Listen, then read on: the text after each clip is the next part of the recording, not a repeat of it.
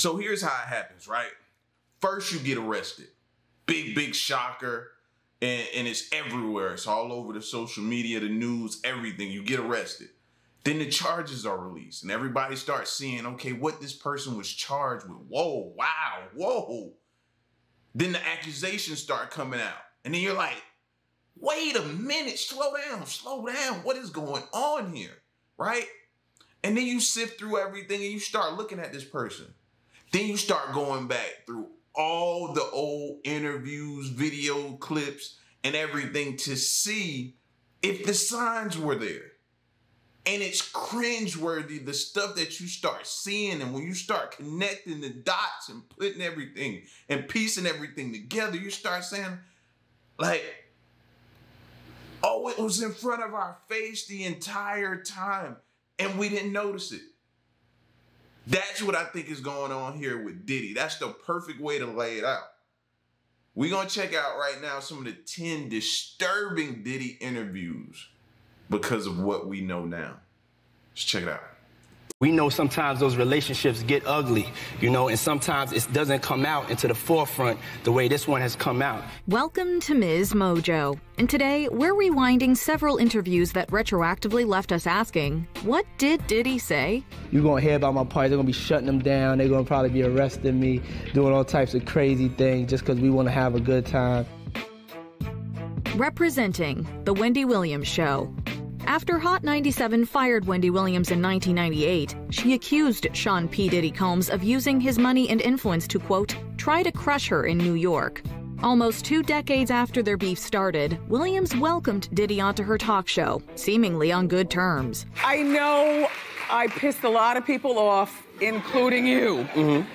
But this is a full circle moment, yes, everybody. Yes. Get into adult yeah. conversation. Now, if you know Wendy Williams, and I didn't really come up on Wendy Williams like that, grow up listening to her, but everybody you hear her uh hear speak about her talks about how she was on Diddy and calling him out for a long time. Like she was one of them ones that was always calling him out.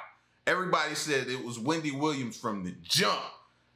But I didn't really listen to her like that growing up or anything like that. Knew of her and the controversy and different things that she spewed, but everybody you hear talk about it say, yo, she was on to Diddy early. But this is a full circle moment, yes, everybody. Yes. Get into adult yeah. conversation. Yeah, yeah. Full circle. Yeah, yeah, yeah, yeah. While Diddy presents himself as someone who's matured into a role model, several moments are now traced with irony. Williams inquires about Diddy's lifestyle and the people he surrounds himself with, asking if they, quote, violate him. She meant financially, but her phrasing proved prognostic. You mm-hmm. threw a house party and I got the footage. Okay. Look at this. Now, who has this many people at their house? Puff and uh, or Sean, Diddy, Duty, what do I call you? Diddy later discusses setting a positive example for African American males and his charter school Capital Prep. Diddy's partnership with the school unsurprisingly ended in November 2023. A sexual assault accusation surfaced. Our children are expected not just to learn to read, write, and compute, but to use that which they've learned to improve their community. Defending just. How did that get swept under the rug? Did y'all know about that? I didn't hear about that. I'm just now hearing about that. You see how that's what we that's what we say about powerful people, right? People who have a ton of influence because of their celebrity status or how much money they make, they have the ability to suppress a lot of things that otherwise would have been plastered everywhere. And it probably was, and I just was under a rock, but I didn't hear about that. Did you? Justin Bieber, Access Hollywood. The allegations against Diddy have made people reassess his relationships with several young proteges, including Justin Bieber. Diddy's 48 hours with Bieber in particular isn't as cool as it seemed in 2009. Where we hanging out and what we doing, um, we, we can't really disclose, but um, it's definitely a 15-year-old's dream. Although Diddy is in trouble with the law now, the positions were reversed in 2014 when Bieber got arrested for a DUI. Diddy defended Bieber in an Access Hollywood interview. He acknowledged that the pop star had made mistakes, but Diddy vowed to help him stay, quote, on the right track. I, I, I don't think that he um, should should be judged like he's not a human being or he's not a teenager that has to hit some stumbling blocks. You know what I'm saying? It's just not fair to, to make him a perfect human being. Fast forward almost a decade, Bieber's arrest feels innocent compared to Combs's. Bieber wasn't as quick to rush to Diddy's defense. A source claims that Bieber doesn't want to focus on Diddy's scandal, instead dedicating his time to being, quote, a great dad and husband. Does he want to have, you know, any affiliation with any of this? No. But I think that even for him, where he is in his life right now, I think it is a smart thing for him to just not even get involved in anything. Keep JLo's name out your mouth. Now, I ain't gonna lie, I saw a couple of those Justin Bieber clips, bro and they almost bring like a tear to your eye when you look at them and and you see because your mind is wondering. And then you're hearing all of the outside noise of people saying what they're saying about him and Justin's situation and and and their opinions about it. You hear that and you look at some of those videos and you say man I hope not. Because I was sitting there telling somebody I was like if all of the allegations that they're saying with Justin Bieber if Justin comes out and says anything about that or addresses that or, or confirms that it's some it's true or some of it's true, oh, it's over for him. It'd be over for Diddy. You know what I mean? If Justin sits down and has an interview and it'll be bad for him. I, I just feel like I feel like that'll be like that that'll be like the nail in the coffin, to be honest with you, in my opinion. Jimmy Kimmel Live. In late 2023, shortly before Cassie Ventura filed her lawsuit against Diddy, the rapper sat down with Jimmy Kimmel. The host asked about a rumor circulating amid the release of Jada Pinkett Smith's memoir, Worthy. According to somebody claiming to be Diddy's former security guard, Will and Jada wanted to have a threesome with Jennifer Lopez. Diddy was dating Lopez at the time allegedly threatening to beat up Will Smith. Hearing Kimmel relay this tale, Diddy initially responded with a stone cold stare. He quickly changed his tune, laughing it off and denying such gossip. I don't know what you're talking about. Jim, Jimmy, I thought we was friends. this? Whether or not this story is completely fabricated, it's far from the most shocking thing Diddy has been accused of. It isn't the most bonkers story involving Will and Jada either. No, it's all about no, love, though. That's no, not true. You you really heard that? Nah. Yeah, yeah. Hands to yourself, Diddy. The Keenen Ivory Wayans Show. In the past, if you had P. Diddy and Mike Tyson in the same room, chances are we'd be more intimidated by the heavyweight champion. Now we'd be more concerned for Tyson's well being. In 1998, the two appeared on Keenen Ivory Wayans' short lived talk show. If you're curious about the pairing, the boxer wanted to start a music company. People's been helping me out. Um, Wyclef been helping me out. DeVante Swing been helping me out. And hopefully Puffy help me out, you know. While much of the interview feels casual, a blink and you'll miss it dose of awkwardness occurs as Diddy's hand gets a little too close to Tyson. Wearing a grin, Tyson removes Diddy's hand before scooching away. But it was like, I, I just felt I was embarrassed for like weeks. It, it, truly is about the Benjamin, as we see. Oh, yes, he's, he's glittering. it truly is about the Benjamin. Perhaps we're reading too much into this gesture, but to say that Diddy has been accused of invading personal space would be an understatement. Watching this makes us almost as uncomfortable as Tyson. What are we doing, man? Let's talk about this guy. Yeah, let's let's let's talk about now, this one I think is sort of a reach. I think this one is a reach, and because we're gonna be honest here, we ain't gonna just just call, just say stuff, just to say stuff, just to get. No, I don't. I think this one is a reach because come on, when have we in all the interviews we've seen with Mike Tyson? When has he ever held back? He's called out reporters, all kind of things in the middle of interviews if he felt some type of way, and then asked them, "So now what? What you want to do about it?" So if he if Tyson would have felt uncomfortable in at this stage of his life, I don't think Tyson would have held back and be like, "Yo, move your hand, fam, you too close." I don't see that happening with Tyson, bro. I that, that no, that's not the type. No, no, I, I don't see that. Even if he did want Puff to work with him and and help him launch a, a, a, record label or whatever. I still don't see Tyson doing that. Come on now, this this is Tyson we talking about. 73 Questions with Sean Diddy Combs. Vogue. Vogue's 73 Questions series allows viewers to connect with celebrities on a more personal level. Admittedly, a lot of these interviews are presented through a rose tinted lens. Nowhere is that more apparent than in Diddy's interview. Love, how do you describe yourself? I'm vivacious, eccentric, and I'm a Scorpio. In 2017, the video presents Diddy in a down to earth light. On the heels of his 2024 arrest, though, some of Diddy's responses feel like setups for punchlines that late night hosts would have a field day with. Now, you've gone on the record saying that your white party is up there with the top three that you've ever thrown for people. What are the other two? I would say when I got my star on Hollywood, I had a party. And this year at Burning Man at an undisclosed location. To name a few, Diddy describes himself as, quote, eccentric, says that there are, quote, no misconceptions about him, and claims, quote, compassion is his best personal trait. Diddy also brings up love several times, even asking the interviewer to refer to him by that name. Oh, and his dream collaboration would be with Michael Jackson. Why? I mean, it's Mi- Michael Jackson, man. Who wouldn't? The Princes and Puffy, The Graham Norton Show. Many famous names have quote unquote partied with Diddy over the years. Not every invitee showed up, however. In 2011, Graham Norton asked about a rumor that Diddy wanted Princes William and Harry to attend one of his parties. Diddy assured Norton that they were no longer on the list. Not anymore. I mean, before, you know. Don't ruin our royal wedding yeah, for I- us. I know. Trust me, they're off the list. This was seemingly because William was about to marry Catherine Middleton, but Diddy's clumsy word choice turned this clip into certified cringe. Diddy claimed that he wanted to party with the princes when they were, quote, young bucks growing up. I can just go over for some tea or something and we could kick it. Since the princes had something of a reputation for getting into trouble, Diddy thought they'd, quote, want to hang out. Given what allegedly went down at numerous Puffy parties, Diddy might have felt more at home with Prince Andrew. Going to um, Jeffrey's was not about partying. Absolutely not. Any interviews with Cassie. Throughout their relationship, Diddy and Cassie Ventura accompanied each other to This makes me cringe. This makes me cringe so much, bro.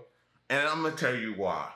Seeing that video, that hotel footage of what he did to her, and and now retroactively going back and looking at these clips and clips like that and seeing how she's she's sitting there smiling and you're I'm sitting here wondering like what happened beforehand. Is she smiling? Is is this just her trying to keep from crying? She's trying hard to just put this this facade, this you know what I mean, carry out the charade. Just like oh my god, my mind's just looking at her, and I just feel so bad for her, man. So bad, so so bad for Cassie, bro. That video, man. That video, that video hurt me so bad to see that happen to her, man. And and I just my heart just continues to go out to her, man. Imagine somebody you thinking is in a happy relationship is not and don't know what to do or how to get out of it. And you looking at him and you thinking of him, beautiful girl on his arms. He got everything, man. This is the picture perfect. Re- Like you you thinking this is what you strive to have. And the whole time, what's going on behind the scenes is happening. This is, oh, bro, this is so cringe to me. various red carpet events. Even when flying solo, Diddy and Cassie would often speak adoringly of each other. Um, the birthday party was incredible. Um, you know, um, she's such a special person. On the surface, the two looked like the epitome of a glamorous couple. That illusion was shattered when Cassie sued Combs for a quote, cycle of abuse, violence, and sex trafficking that allegedly lasted almost a decade. if, if I'm on her uh, team as her attorney, I'm making it clear that that's what happened here. That the relationship started out good, but gradually it got worse and worse to the point that she was caught in this vicious cycle. Uh, she was caught under his thumb. Some of Cassie's claims were supported by video evidence. After watching this footage, it's impossible to look back on any of their interviews together the same way again. The most disheartening example may have been at the 2018 Met Gala, where Liza Koshy asked Cassie if there was anything she'd like to confess. I keep everything right here. There you go. Or right here. There you go. That's how you do it. Cassie wouldn't keep quiet much longer. Bro, you just want to grab Cassie and just hug her and say, man, we wish we would have known. We sorry. I'm sorry. I'm sorry. I wish we'd have known. Wish we'd have known. We'd have got some help for you. And I always say we would have got you some help. I don't never say, and, and that's just a personal thing for me because I never interfere in people's situation or relationships. And a lot of people be like, dang, L, so if you see somebody getting into it or doing something, you're not gonna step in? No, I'm not. And I'm gonna tell you why. I've done that before, and the person ended up going right back to the person. So imagine me stepping in and intervening and doing something, ending up in jail for however many long, uh, however many years or the rest of your life, just for that person to go back to that person and you ruined your life. I've been in that situation before. So that's why I always say we will get you some help. We will contact the authorities and send them over there. I'm not intervening. I've been in that situation before and I vow to never do that again. Longer. Chris Brown, Rihanna, and Diddy too. The Ellen DeGeneres Show. Few could have predicted that P. Diddy and Ellen DeGeneres would both be problematic figures by 2024. Diddy dropped by DeGeneres' show multiple times. Puffy parties were a popular topic. Ellen even invited him to one of her parties. You know I have to arrive fashionably late. All right, not too late though. Not too late? Not too late, What please. time would you like me there? Um, I'll tell you later. Okay, But not okay. too late. Because, cause, you know, once you get there, the party really starts. In an especially unsettling interview from 2009, DeGeneres asked Diddy about Rihanna and Chris Brown, the latter of whom had been accused of domestic violence. Diddy reportedly lent Brown his Miami mansion, supposedly attempting to help reconcile his relationship with Rihanna. If I could be there as a friend during hard times, mm-hmm. then I'm gonna be there as a friend. Right. But I don't know the exact particulars. I didn't get into it. I'm not gonna do this or do that. It's, it was a dark, it's a dark time for them, and I was there more as a support. Diddy didn't deny these claims, saying that he could lend his house to whoever he wanted. While Diddy condemned violence, he argued that stones shouldn't be thrown without all the facts. Unlike Diddy, Brown notably pleaded guilty to his assault charges. From there, I said, you know what, I'll just, I'm gonna just take everything and like it's come. My consequences for my actions have to be dealt with. Lock the Doors, Late Night with Conan O'Brien. Between Danny Masterson and P. Diddy, celebs should be careful what they tell Conan O'Brien. It may come back to haunt them years later. In Diddy's case, Conan spoke with the rapper in 2002. Now, what do you? You're legendary for the parties that you throw. Mm-hmm. You throw a great party. I'm a legend, baby, for a whole bunch of things. O'Brien wanted to learn the key to throwing a puffy party. Diddy provided a detailed list that included beautiful ladies, beautiful men, booze, water, and, quote, locks on the doors. Conan brought the interview to a brief halt, questioning if Diddy's parties were safe. No, no, I wasn't saying. No, it was a new, it was a new Sean, party. you're in my house now. You see. You stumbled into my Please, house. Please. It's okay. It's gonna be fine. Okay, cool. Let me just, please let me finish. Okay. Diddy admitted that the locks were a little, quote, kinky, although there might be another word for it. Maybe Diddy intended this as a joke, but considering everything that's been reported about his parties as of late, this answer comes off as brutally honest. Um, you know, everybody gets a little bit more comfortable and loose. Builds up a nice little sweat. That just sounds disgusting. What are you talking? Depends on the way you look at it.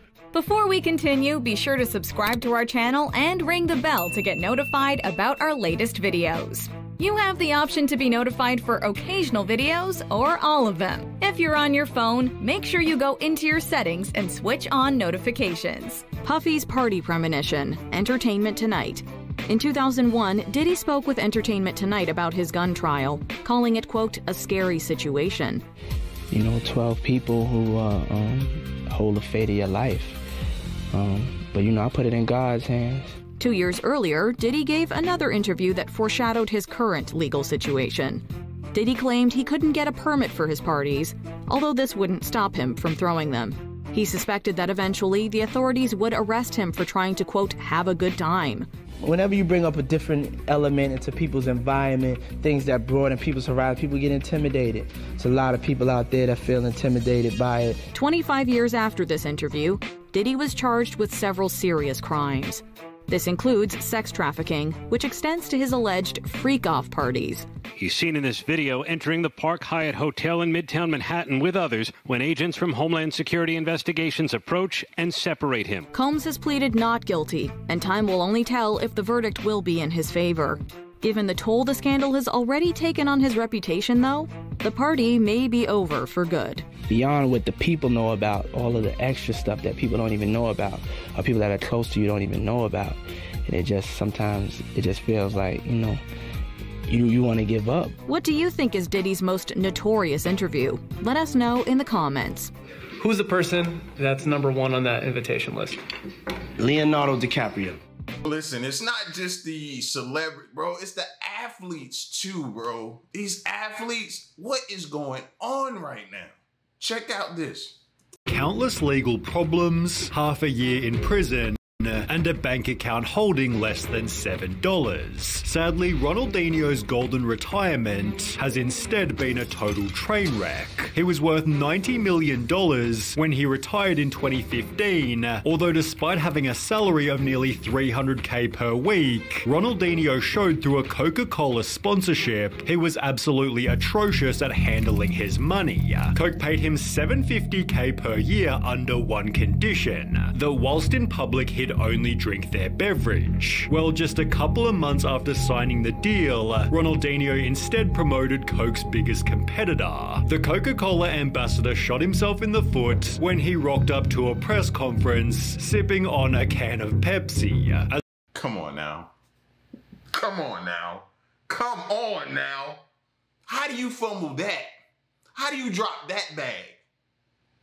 Come on. As a result, Coke dropped him and stated the sponsorship had become embarrassing, assisted by Ronaldinho's poor performances on the pitch, as he'd become more interested in throwing wild parties. In one example, he was scheduled to play against Man United, but instead the night before, partied in a bar until 3am. A Barcelona board member added, Ronaldinho plays bongos until 2 in the morning every night. Everyone knows we have a discipline problem. Ronaldinho's getting older, partying all the time. How do we stop it? Well, stopping Ronaldinho's partying was basically impossible, uh, as he even negotiated a nightclub clause into one of his contracts, allowing him to party at least two nights per week. Incredibly, he wound up breaking the contract, as two nights of partying simply wasn't enough, justifying his actions by stating, a football player has to have a normal life, as a person and as a sportsman. But according to his teammate Jerome Leroy, uh, this lifestyle was seriously hurting his skills. Ronaldinho didn't train any day of the week and would just turn up on a Friday for the game on Saturday. I think he was trying to follow in the steps of Romario, who would also go out every night, but he didn't have the same success. Without a consistent training regimen, Ronaldinho began to experience constant injuries. Beginning in March 2008, he was off the field for one full year, missing 30 different games, coming from four different injuries. In the meantime, Ronaldinho started gaining weight, for which he was clowned on by the media. One article wrote, over the past year, Ronaldinho hasn't looked like the player who led Barcelona to two straight league titles. Another Come on, man. I hate to see this type of stuff, bro. Especially with people you like, man, was given you you you had every opportunity, bro, blessed with talents and everything that that most people would would just die to have, bro. You have that. Like, come on, man. You gotta keep the main thing the main thing. Them parties, bro, come on. Especially in a in a you could do that after your career is over. Where is everybody going? I, I don't understand that. Like, and who did he have around him? To which that we say that sometimes, and sometimes it doesn't matter who you have around you. You're still gonna make the the worst decision. So article mentioned the former best player in the universe has already become an increasingly distant memory for the Brazilian national team, and true or not, gets frequently described as past it without much debate. In 2002, Ronaldinho helped carry Brazil to a World Cup win, but by 2010, he wasn't even chosen to play on the team at all. Understandably, Ronaldinho wasn't happy, believing he was now better than ever, stating, I am back now to how I was. In fact, I think I'm even stronger now. Everything seems easier now. I want to play in a further two World Cups. His harsh World Cup rejection forced Ronaldinho to get back into shape. A forum post from 2012 titled Ronaldinho goes back to 2004/05 weight explained apparently he's now gone back to his ideal weight of 80 kilos. On top of this, a goal.com article proclaimed Ronaldinho is officially back among the world's best, although as you might expect this didn't last long. Throughout 2013, Ronaldinho missed another 24 games, resulting from two separate injuries. He therefore again wasn't selected for Brazil's 2014 World Cup team, and by 2015, at the age of 35, Ronaldinho's career was pretty much finished. He'd signed an 18 month contract with Fluminense, although after failing to score in nine games and being booed by his own fans during a league game, Ronaldinho's contract was terminated after only two months. The club publicly announced. We were straight with him and told him it wouldn't work for us, so we decided releasing him was the right thing to do. We are somewhat frustrated. When he arrived, we expected he could do for us what he did for so many other clubs. That's what you think when you sign a player. He didn't do well in Mexico, but we took our chances by bringing him back to Rio, thinking he would do well again. Ronaldinho clearly didn't, but he now had $90 million to retire very comfortably. He'd hire his brother Roberto to be his manager, who confirmed Ronaldinho's retirement, stating, He has stopped, it is ended. Let's do something pretty big and nice after the Russia World Cup, where Ronaldinho was spotted looking extremely happy. Behind the scenes, however, his life had already begun to fall apart. Ronaldinho used his earnings to purchase 57 properties, one of which being a lake house in the riverside city of Porto Alegre. From the house, he built a wharf and dock without realizing it was totally illegal. As a result, he was fined 1.7 million US dollars, although Ronaldinho refused to pay. It was then revealed he also owed a further $2 million in unpaid property taxes, and as a result, Ronaldinho has had 57 properties seized and his Brazilian and Spanish passports confiscated over unpaid taxes and fines. Ah! That's all you can pretty much say is ah, as you're watching the money just slip through your fingers and go out the door, and you're trying your best to reel it back in, but it's just man. Ah, bro, what is going on? 57 properties seized? Oh, bro, my heart wouldn't be able to take that.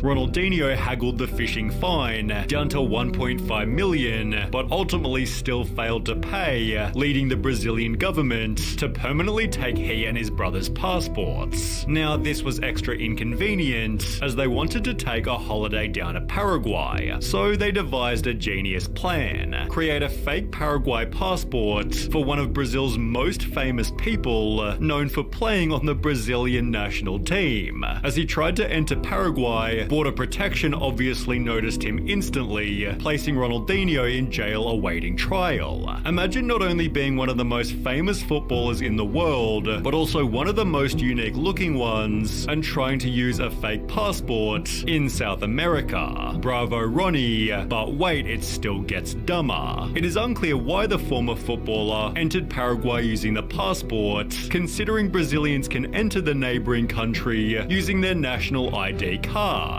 Basically, Ronaldinho could have gone to Paraguay without using a passport at all. To add a cherry on top of the cake, Ronaldinho claimed he didn't know the passport was fake and believed he had been given his Paraguayan passport as a gift, assuming it was an honorary type document of no real value, and gave it to an official without thinking when he reached Paraguay because it was the first thing he got out of his bag. He was therefore even roasted by his own lawyer. Ronaldinho was wasn't aware that he was committing a crime because he didn't know they were fake documents. He's stupid, but the court didn't buy it for a second, and Ronaldinho was jailed for almost half a year, whilst inside the prison hosted a futsal tournament, leading teams across the prison to row with one another over which would have Ronaldinho on their team. He'd win the final game by scoring 11 goals, eventually leading a judge to conclude there is no indication that he has any personal characteristics or criminal behavior that would put society at risk, and Ronaldinho was therefore released from prison with a $200,000 fine. However, he had no hope of paying this. In fact, the reason he and his brother initially had their passports seized was because an investigation into their bank accounts revealed a balance of just 24.63 Brazilian real or $6.59. Ronaldinho's plan to rebuild his life was to launch a cryptocurrency, releasing the Ronaldinho Soccer Coin project, which gained just 61 Instagram followers. With his own coin failing, Ronaldinho instead promoted other shady crypto projects, always being met with understandable critique. Is this a translation for you are bankrupt again? In case you forgot, here are all the crypto projects you pump and dumped over the years, only leading to even more problems. Ronaldinho denies part in alleged 61 million crypto scam at congressional hearing. His likeness had been used to promote a cryptocurrency which promised a return of 2% per day. After the crypto inevitably turned out to be a scam, Ronaldinho was brought before the government, although he claimed he was never partnered with the company and it used his name and image without his authorization, arguing he was also a victim of the purported scheme. But Ronaldinho took this photo specifically for the company uh, and also had a history of involvement in these kinds of shady projects. Additionally, Ronaldinho had failed to appear before two previous hearings related to the inquiry. He said weather conditions meant he was not able to attend. His involvement is up for interpretation, but it seems he was sufficiently rattled as he'd pivot to promoting traditional products where he'd only experience even more issues. Ronaldinho posted to his Instagram, This is a sad time for anyone who likes Brazilian soccer. It's hard to find the energy to watch the games. This is perhaps one of the worst teams in recent years. It has no respectable leaders, just average players for the most part. I've never seen a situation as bad as this. I repeat, our performance has been one of the worst things I have ever seen. It's a disgrace. The post was shared to Reddit and people weren't happy. Criticism is fine, but straight up quitting on the national team in an official post is something to say the least. Imagine your idol saying that about you and your teammates, killing their confidence. Well, only one day later, Ronaldinho returned to Instagram, revealing the nasty message was actually an ad. I would never abandon Brazilian football, never. And I would never say the things you saw. In fact, these words came from real Brazilian fans. They are real comments I saw on the internet. Guys, what our boys need is support at this time. That's why I joined Rexona in this movement. We are asking everyone to send messages of support. Hashtag Rexona does not abandon you. He's damn broke, isn't he? Ronaldinho's finances haven't been discussed recently, but judging by photos of him taking private jets, it seems he's rebuilt his life at least to some extent.